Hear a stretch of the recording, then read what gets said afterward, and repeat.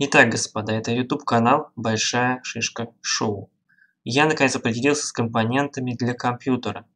Вот, эм, смотрите, соответственно, первое, что будет куплено, вот после этого, корпус, блок питания уже есть, это будет оперативная память. Она будет или красного, или белого цвета, 8 гигабайт 2 модуля, именно частотой в 2400. В чем прикол? Вот, э, должны быть радиаторы хотя там много без радиаторов, без этих, но, во-первых, крашеные в красные радиаторы, это автоматически мощнее компьютер становится в 100 раз, вот, или в белый крашеный радиатор, все равно в 100 раз становится мощнее комп, так что надо брать что-то такое, короче, брать, да. А частота 2400 просто потому, что это наиболее совместимая частота со всеми процессорами. Вот, как Intel, так и AMD ее поддерживают, а вот 2666 уже только AMD поддерживает э, в недорогих процессорах за адекватную цену. Потому что хотят наживаться на тех, кто доверяет этой частоте, а на самом деле ее надо делить а, на два, да. То есть эффективная частота в два раза меньше. Любая программа по тестированию покажет частоту в два раза меньше. Реально эффективная, потому что это DDR память все-таки, DDR, видите, написано DDR. Вот, эффективная в два раза ниже, на самом деле, а это такая опорная, блин, частота. Несущая, опорная, не шибко я разбираюсь, короче, но реальная в два раза ниже всегда. И тут уже все равно будет 3000 э, или 2133, допустим. Потому что вот 2400, давайте отсчитаем половину, это будет 1200. А от 3000 считаем половину, это будет 1500. Вот, и разница практически тут э, минимальная. Вот, поэтому я не заморачиваюсь этой памятью. Вот, главное, чтобы подходило и пофигу, короче, да, 8 гигабайт и по две планки, и это хорошо. Будет 16, это будет вообще нормально, больше мне не нужно. Я не думаю, что мне больше нужно. Вот, э, все-таки в игрушки хочется поиграть, которые я пропустил. А, вот, в то время, пока у меня не было четырехъядерного процессора. Я пропустил много игрушек, начиная даже с э, GTA 4 еще. Вот GTA 4, когда она вышла, 2008 год, кажется. Вот, игра, конечно, говно, но ну, посмотрим. Может понравится. Вот, хотя мне ни одна игра серии GTA не нравилась, но, конечно, взрывать там от полиции бегать. Э, GTA San Andreas очень нравилось. А но это школьное увлечение, сейчас бы я не хотел такое. Вот, ну вы поняли, короче, частотой 2400, чтобы совместим был со всеми процессорами, короче. Вот, потому что Intel больше не поддерживает. Вот. Гарантия офигеть какая длинная, но оперативка не ломается никогда. Вот что я вам скажу. И поэтому они бы могли хоть миллион лет давать. Бесполезно, короче, если влага никакая не попадает, то не сдыхает оперативка никогда никакая неважно с гребнями она или без гребней, это вообще только декорация на самом деле, эти гребни. Вот, кстати, рассчитано, что это будет бокс, бокс, э, не бокс, этот кит, то есть, да, две планки. Ну и даже, вон, вы видите, там под вторую есть место, но не положено просто. Вот, я найду, где положено и куплю, собственно, вот так. Даже упаковку на отдельную планку вот, с гребнями не делают, представляете? Дешевле так. Упаковка тут не важна, что за вот эту память DDR4 и так переплата дофига. Давайте к следующему, короче, следующий объект нашей сборки. А следующий объект нашей сборки это вот такая вот материнка. B360, короче, вот. Притом исключительно от микростара, не хочу вот экономить в этот раз, от микростара куплю. Вот, хотя там чертовщина с USB выходами, я думал только на микростаре, нет. На других платах еще меньше. Тут хотя бы, видите, 4 есть, а на других планах, ну, 5, 5, 5, 5, вот видите, 5 USB выходов тут есть. И один ненормальный, короче, вообще ненормальный какой-то. Я думал, что не так здесь. Что вот, э, я посмотрел другие платы, там вообще только вот эти вот есть и все. 4 штуки. Так что это наиболее веселая из B360, это наиболее веселая. Вот, да и как-то она мне по внешнему виду очень нравится, эта плата. Вот тут э, закреплена вот, и, вот этот вот слот. Бронирован, блин, вообще. Четыре слота под оперативку. Это очень хорошо. Это может пригодиться. Потому что есть шанс, есть шанс, что не будет хватать 16 гигабайт когда-нибудь. Но тогда скорее и процессор уже не будет хватать того, которого я хочу. Оплата такая вот необычная, видите? Ну и что, что она коричневая? Вы смотрите, что она необычная такая. Видите, все как на ней по-особому распаяно. Мне это очень нравится. Вот и М2 есть здесь, прямо вот тут слот М2 под видеокартой. Вот, это очень хорошо. То есть охлаждать его будет видеокарта. Вот, это замечательно. Но не знаю, М2 диски, они, по-моему, дофига эти стоят. SSD-шники, которые в М2 стыкаются. Вот, просто дофига они стоят пока еще. Хотя, в общем-то, не отличаются ничем особо от тех, что Passat там подключаются. Вот. Но поглядим, поглядим. Короче, вот это дорогой вариант достаточно, это материнки. Вот, э, дорогой. Но лучше не экономить. Лучше не экономить все-таки, взять дорогой вариант. И пусть будет хорошо лучше. Вот. Потому что есть дешевые варианты. Там гораздо хуже вот эти вот конденсаторы другие. Вот эти вот. Все, все чуть похуже. И мне это не нравится. Вот. А тут вот все просто убойной надежности должно быть. Просто дизайн, конечно, не очень, коричневый цвет не очень, но зато все здесь убойной надежности. Вот. Инфа 100%. Вот такая вот коробчонка у нее классная. Вот. Кто скажет, что это плохая, это обманываете себя. Так, короче, поддерживают все процессоры восьмого поколения.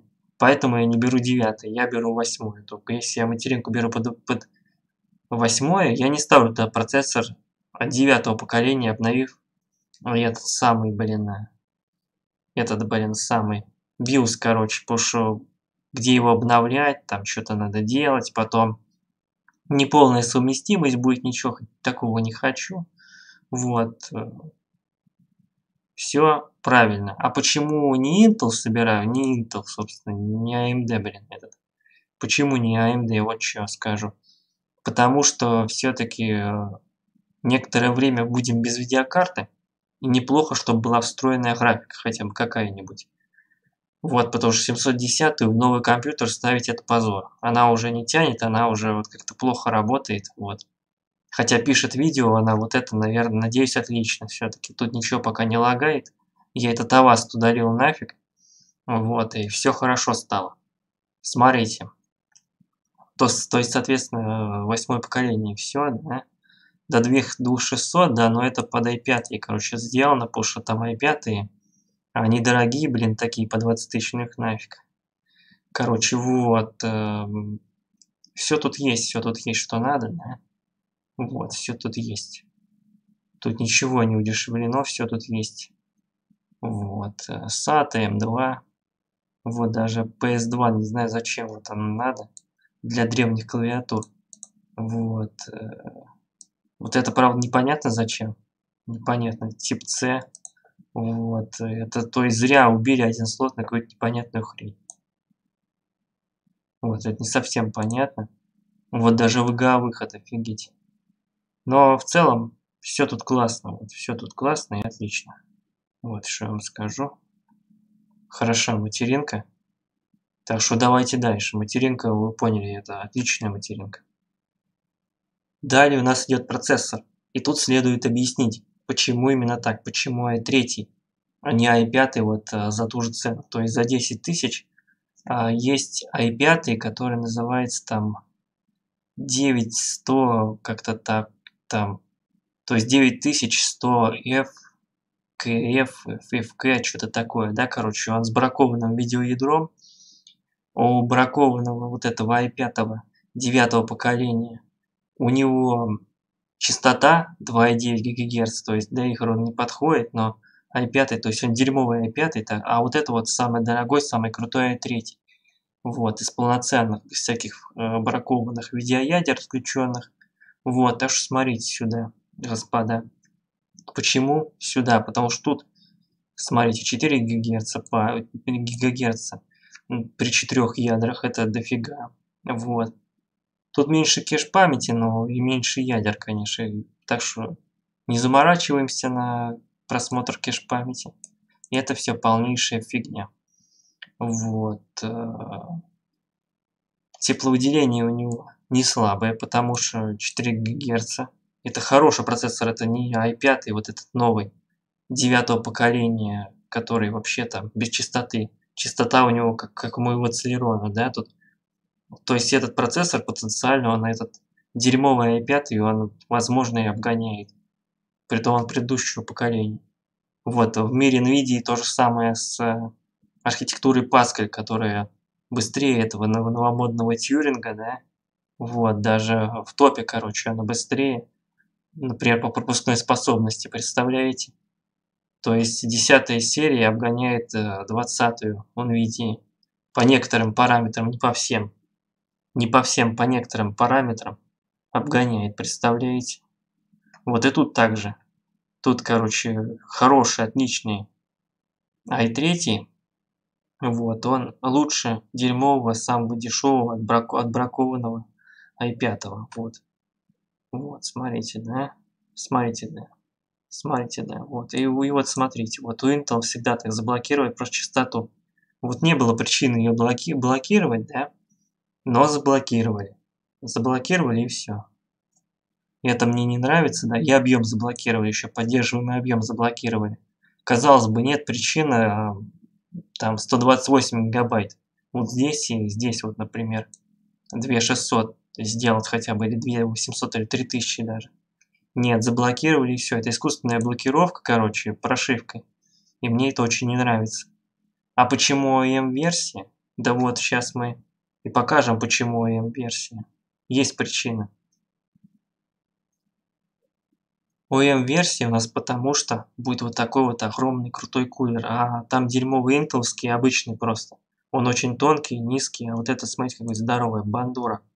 Она что угодно охладит. Вот, здоровая бандура дорогая, здоровая, я не доверяю теплотрубкам, поэтому для меня вот этот кулер лучше всего. Вот, то есть он такой здоровый, огромный, что-то такое щупал, да, под... А, он с какого-то i5, вот был подобный кулер у меня в руках, да, огромный, вот, действительно здоровый. Вот он в два раза выше по интелского, или даже в три.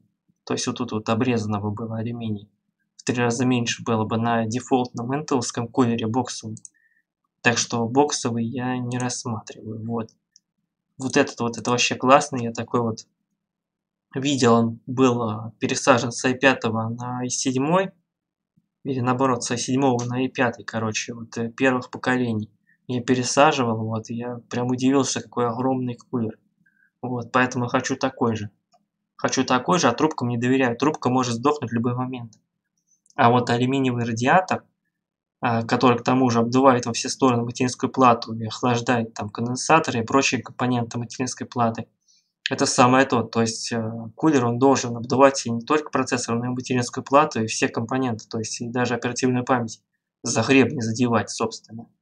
А вы что думали? Вот. Мне кажется так. А боксовый вот эта башня вот это не может нифига. А боксовый не тянет такую мощность, да? А тут даже есть, видите, запас. 130 ватт. Вот. 130 ватт. Даже запас есть. Всегда берите с небольшим запасом именно. Охлаждение будет у вас просто тише. Если будет э, охлаждение с запасом, будет только тише. Э, эффективнее не будет, быстрее не будет ничего. Просто будет тише. Вот, что я могу сказать. Потому что не будет особо разогреваться, да. Не будет притык и не будет особо разогреваться, значит, вообще. Вот, и это респект этому кулеру. Смотрите, какая у него здоровая коробка, классная вообще. Прям хочется прям, прям с экрана выхватить и себе взять.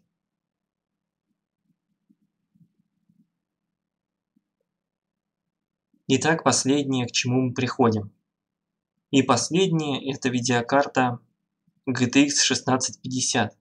Опять от Microstar, все-таки хочу компьютер полностью от Microstar собрать. Вот, хотя плевался в них недавно, вообще говорил, что они говно. Ну, они, конечно, говно, и... Ну ладно, я рискну еще разок, мне просто нравится э, все, чтобы одной фирмы было, короче, вот, смотрите. Почему 1650? Потому что это тоже, тот же Тьюринг, короче, да, что 2080 это и ваши. Но при этом без этих вот RTX ненужных. То есть там RTX на самом деле поддерживается в этой хрени. Вот, представляете, да? Но просто все заблокировано, просто прошивка опять заблокировали все, короче, RTX, вот эти все фичи. То есть вот э, то же самое сделали, да, тот же самый чип ставили, то есть тот же самый, все то же самое, только RTX вот этот функционал заблокирован, но он не нужный, поскольку есть всего три игры, которые его поддерживают, и в э, двух, двух из них он не обязателен, то есть только один вот этот вот древний несчастный, как его, Quake 2 требует этого RTX именно вот. Вот представляете, какие дела, без него не запускается, а все остальное и так работает. Так что RTX пока не нужен. Вот что я могу сказать. 1650. Это будет офигенная карта. Офигенная для меня. Я без сглаживания играю, без всего, без всякой хрени. Вот, для меня это будет отлично. Вот, вообще просто выше крыши производительность будет, мне будет достаточно. Вот. Как и процессора, потому что у меня не было еще четырехъядерного процессора, и у меня не было даже близко вот э, карты вот игровой, которая бы игровой индекс имела в современное время после 2012 года. То есть карты, которые у меня были, все, они считались неигровыми, даже в ноутбуках во всех, во всей этой хрени считались неигровыми, вот. То есть это первая игровая карта, которую я беру за длительное время. Вот. И первый четырехъядерный процессор, так что я был полностью удовлетворен, даже более чем. Но то, что сделано все дешево, вот это вентилятор, это пластик, это как дешевая тут. Но это не страшно, да, потому что, вот, видите, там какой зато радиатор под ним. Конечно, вот это все и кулера эти, и все такое прочее выглядит очень ненадежно как будто уже отвалится прям, прям вот сейчас, прям, прям вот просто при первом запуске все эти кулера поразлетаются, и пластик отвалится, но, но бывает, господа, ну, ну как так может, да? Ну да ладно, на производительность вот эта система охлаждения не, не скажется, в общем-то. Будет охлаждать и так, короче. Ну очень дешево, короче, очень дешево, пахнет ненадежностью прям. Вот. Эм. Но будет работать и пофигу вообще, да. Все разъемы есть, кроме VGA, да, но VGA вообще не подключается, потому что карта полностью цифровой выход имеет. Вот. И в современные карты даже через переходник VGA не подключается. Говорят, через HDMI, короче, как-то там есть какие-то конвекторы, короче, активные, вот и они как-то изображение переформатируют, но это какой-то костыль полный. Вот, только так. Тут, э, в отличие от 1050, э, э, все версии с 4 гигабайтами памяти. Вот, в том-то и смысл отобрать, да. И современная архитектура. Современная архитектура и драйвера под Linux. Поэтому имеет смысл, смысл отобрать а в десятке не так. В десятке нет драйверов под Linux, потому что, ну, AMD а там начала фигачить, да? А, в десятой, в десятой серии не успели, короче, они начали там фигачить, что типа Linux совместимая видеокарта, да? И все стали, и они офигели, короче, да, эти. Потому что они драйвера поганые писали для этого Linux, да, вообще не хотели поддерживать вот свои видеокарточки, да, под Linux, да но не увидали, что там AMD перетягивает, да, и ну, надо это самое, грохнуть, да. Вот. То, что она дороже. 560 и даже 570 карты, вот, и при этом медленнее ее, ну, ну хочется мне так, хочется ее купить, да, потому что она всего потребляет 75 ватт, хочется мне ее купить, вот, она мне будет достаточно, да, Хотя я мог взять мощнее, но 570 вообще нигде не найти. Вот. А в России еще на нее наценка, короче, 4000, так что тут на этом сайте даже бесполезно ее смотреть, она будет дороже. Хотя во всем мире, в любой стране она дешевле. Вот этой вот карты и мощнее. Вот. Но за мощностью мы не гонимся, мы хотим светящуюся вот эту хрень, чтобы сбоку была. Вот. Ну, возможно, нет. Но прикольно, что тут будет светящаяся хрень. Зеленые, блин. Ну, вот главное, чтобы она не сильно мешала, а то ее заклею потом клеющей лентой. Вот, что я скажу. Ну, по характеристикам, что надо? Вот, что надо. И вот, что надо. И это все друг на друга множится. И получается, что, что, что пропускная способность памяти 120 гигабайт. У меня такого тоже не было. У меня максимальная видеокарта, что была, она вроде 30, 30 гигабайт пропускала, да, через себе. А тут э, получается 120, по-моему, 140, 800 МГц, это 140 уже. Короче, это действительно, по сравнению с моими вот этими затычками, вот этой затычкой 710, что я сейчас сижу, там вообще 10 гигабайт скоро, 10 гигабайт или 10 или 14 пропускная способность, даже ниже, чем у интелской, интелской, интелской стройки. А тут будет 140 гигабайт, это офигеть, это 10 раз, в 10 раз мощнее будет.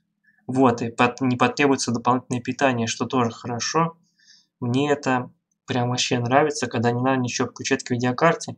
Когда она от материнки питается, это вообще класс. Ну да ладно. Короче, все мы просмотрели, все мы обсудили, переобсудили. Давайте пишите комментарии, если хотите. Не хотите, не пишите. Вот. Вот. Поддержка Linux это лайк наконец-то, но это благодаря AMD, который стал Linux поддерживать, да, и стал перетягивать народ на красные карты для, это самое, для Linux пользователей, потому что в NVIDIA никакая поддержка была, и все стали перебегать, да, а там, короче, э, рассказали, короче, всем, как эти их карты работают, да, и позволили, то есть, свободному сообществу написать отличные драйвера для них, и теперь Radeon даже в Linux в топе, потому что они идеально там работают прямо с коробки. А вот эта хрень с драйверами может даже глючить. В общем-то, даже с драйверами. А там вообще все отладили просто идеально. Так что придется, несмотря на вот это, то, что они пишут поддержка, им еще нагонять. Вот, по линуксовой поддержке. Вот. Вот, вот так вот. Ладно. Короче, все, тушите свет. Все сказал. Какой компьютер будет, вы представляете.